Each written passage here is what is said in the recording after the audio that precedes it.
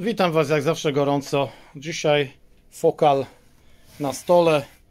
Pokażę Wam co się zadziało. Zwrotnice żdżarły zwierzęta. Szczury, myszy, nie wiem co.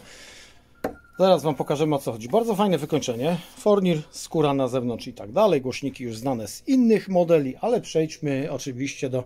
No, koty oczywiście odpoczywają. Dobra, niech sobie śpi, słuchajcie. Zobaczcie tą zwrotnicę. Co tu się stało? No rozpadła się. Kompletnie się rozpadła. I jeszcze nie ma cewki. Coś, no, coś nam zżarło cewkę, dosłownie.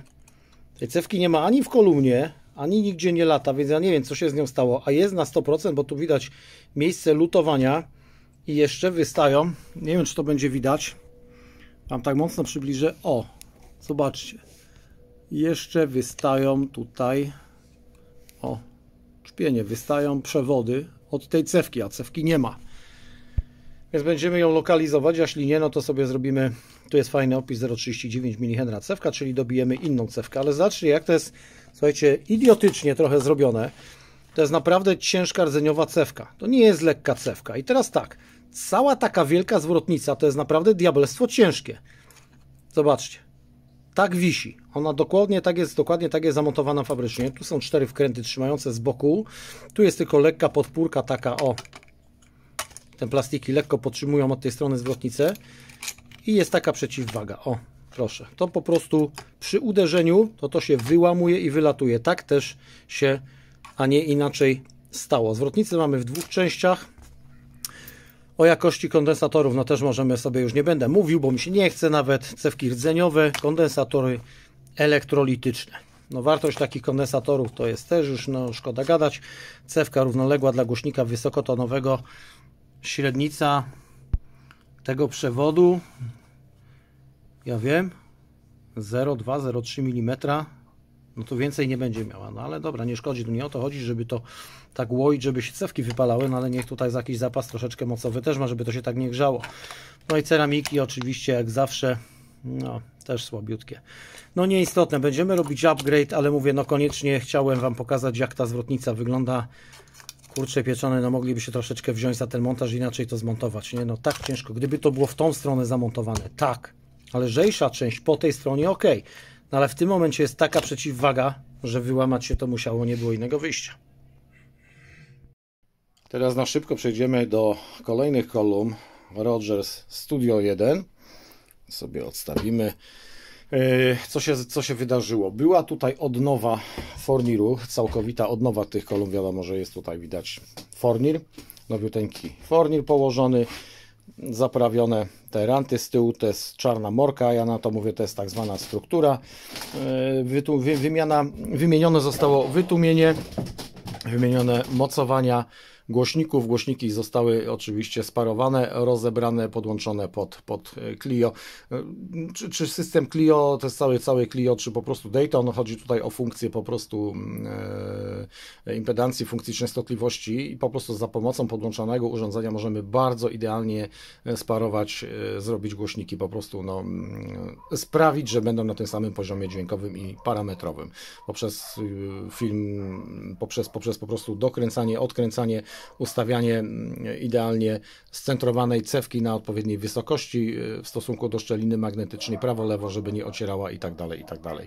Na jednym z filmów już to robiliśmy na przykładzie głośników Canton. E, zmieniliśmy również tutaj, są wiadomo cewki powietrzne, kondensatory równoległe crosskapa, mm, e, są, tu, są tutaj również Z-kapy niebieskie, mm, okablowanie w całości OFC, te zwrotnice są poprawione, gdzieś tutaj zimne luty, coś im dolegało, też nie stykało, stare, stare po prostu elektrolity zostały wyrzucone, zastąpione foliowymi, jak widać, ponieważ no nie, było, nie miały idealnych parametrów, bardzo duże rozjazdy, częściowo też były uszkodzone. Ten filmik robię tak pobieżnie, ale po prostu tutaj na życzenie klienta, klientów, żeby jakaś pamiątka pozostała tutaj po tych, po tych kolumnach, że były zmodyfikowane, zrobione i tak dalej. E, weszły nam tutaj nowe terminale z tyłu.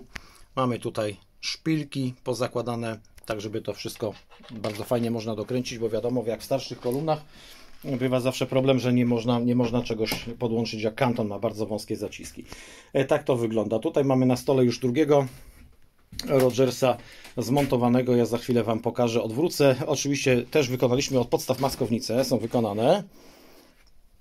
Maskownice są w całości zrobione z płyt ze sklejki, polakierowane na czarno, naciągnięty nowy materiał z nabitymi nowymi kołkami. No i za chwilę odwrócę i pokażę Wam o co tutaj chodziło z frontem tych kolumn.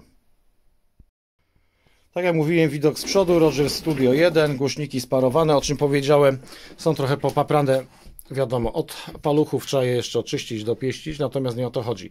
Chodzi o to, że tutaj po prostu przedniej, przednia płyta jest bardzo miękka, zrobiliśmy tutaj takie wstawki, dodatkowo dostały kolumny podkładki szersze, one są zrobione dokładnie w strukturze takiej jak front, żeby po prostu była większa powierzchnia trzymania tego, ponieważ te śruby się wpijają, potem się dzieją cuda. Te fronty są trochę miękkie, natomiast są też wewnątrz jeszcze zaimpregnowane, usztywnione i tak dalej. Dodatkowo jeszcze, póki pamiętam, podklejenie zawieszeń głośników niskotonowych, ponieważ one fabrycznie są klejone na jakieś, nie wiem, butapremy, coś takiego nieciekawego, no niestety po czasie to nam odłazi. Także fronty mamy zrobione, czarna struktura. Na końcu oczywiście jak zawsze zdjęcia e, z już dopieszczonych obudów, dopieszczonych kolumn. Przejdziemy sobie jeszcze za chwilę wrócimy do zwrotnic mm, z poprzednich kolumn.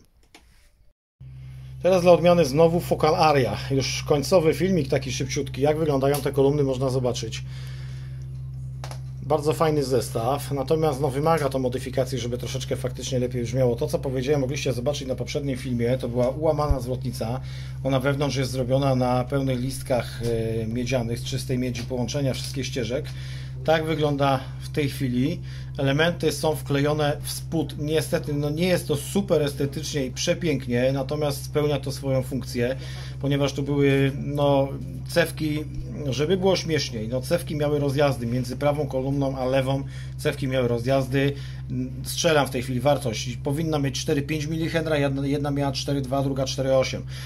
No to jest troszeczkę dziwne, no ale tak się zdarza, jeżeli to nie jest handmade, nie są podzespoły parowane, tym bardziej jeżeli weźmiemy pod uwagę indukcyjność cewki, kondensator równoległy, rezystory, parę rzeczy, no to wszystko się mnoży tak naprawdę, więc no wyniki tak naprawdę pomiarowe wychodzą całkowicie wręcz można powiedzieć różne tych przewodów, przewodów, no tych, tych tutaj, tych parametrów tych, tych kolumn. E, ostatni rzut oka, tu jest wszystko w tej chwili na kondensatorach foliowych, nie elektrolitach, tutaj już nic się kompletnie nie będzie z tym działo. Także kolumnę, złotnicę mamy naprawioną, kolumnę mamy złożoną, jeszcze dobijamy oczywiście wytłumienia w tej chwili, bo tutaj też było tak zwane minimalistyczne wytłumienie, my tego dołożyliśmy. No i na koniec, na koniec parę zdjęć zrobimy i klient już będzie mógł odebrać fokale. Tutaj mamy fokale razem, razem z Rogersami.